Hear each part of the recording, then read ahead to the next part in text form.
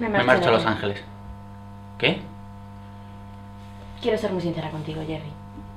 He conocido a otro y, bueno, me siento muy atraída por él. ¿Has conocido a otro tío? Sí. ¿Has tenido un lío? No. No, y, y no quiero tenerlo. ¿eh? No, no soporto eso de las citas ni las mentiras furtivas, no. ¿Y dónde os conocisteis? Por ahí. Pero habréis tenido que pasar tiempo juntos para, para que sientas eso por él, ¿no?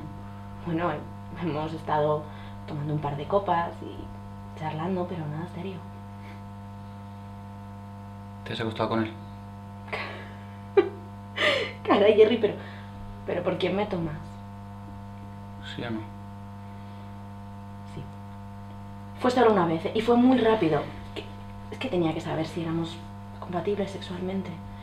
No quiero tener un vulgar lío. Por eso estoy siendo tan franca contigo. Quiero ser muy sincera. Que no, no sé qué decirme. Me has pillado por sorpresa, manda. Me marcho de aquí.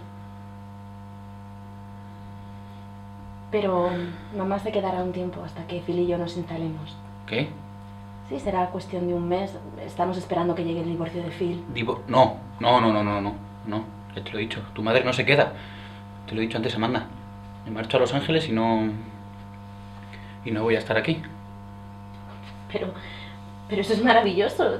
¿Te han dado trabajo allí? ¿Has conseguido trabajo? Sí, en, en un programa de televisión, Dobel y yo.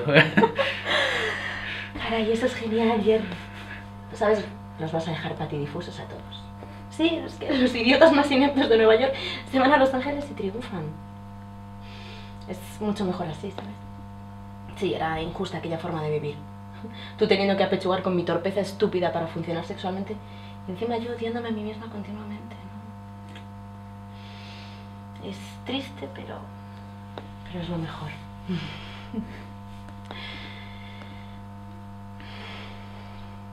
¿Sabes? ¿Sabes qué sería romántico? Que nos acostáramos una última vez. En fin, por, por los buenos tiempos. Pero... Pero pensé que, que no podías. Bueno, ahora la cosa es distinta. Sí, la, la psicodinámica ha cambiado. ¿Quién sabe? A lo mejor acabamos teniendo un lío.